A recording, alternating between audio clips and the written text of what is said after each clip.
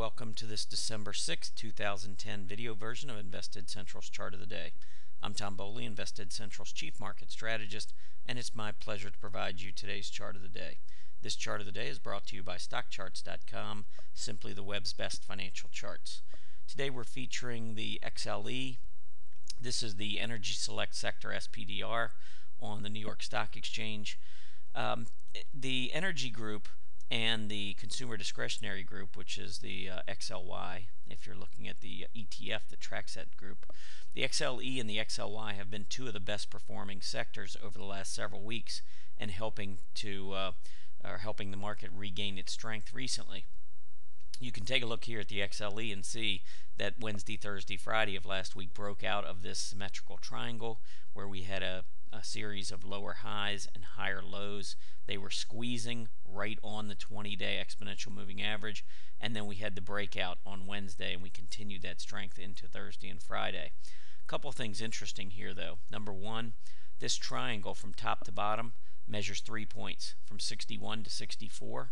So when you break out of the triangle at 63, what we're looking for is a $3 move up to 66, which we've seen.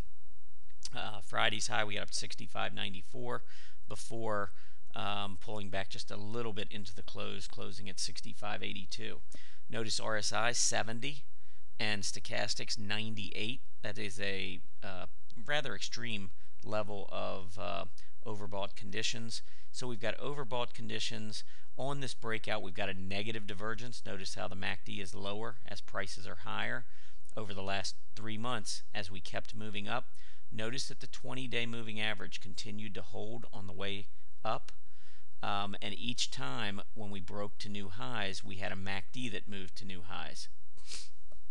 That's important because as the MACD rises, it means that your 12 day moving average is diverging away from your 12, uh, 26 day exponential moving average that is very important in an uptrend because it's telling you that the bulls are still in control in the near term. That's why your 12 day moving average is moving up quicker than your 26 day moving average. But a negative divergence forms when your prices continue moving higher, but the MACD no longer does. That means that actually your 26 day moving average is gaining ground on your 12 day moving average. So the short term bullish momentum is slowing. That's the whole idea behind these negative divergences. Now, we, if you have any questions, we are going to be having uh, an event on Tuesday after the market closes, um, dealing with divergences, what they are, uh, how you can view them, how they can impact your trading. Uh, it's going to be a very, very educational event.